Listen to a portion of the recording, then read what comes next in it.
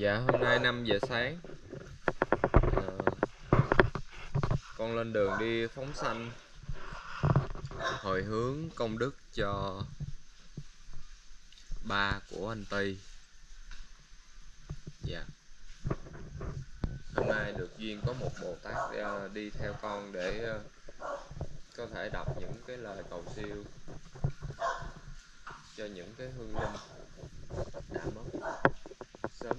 Phát giải thoát sanh thiên và bây giờ để anh ấy thay đổi xíu.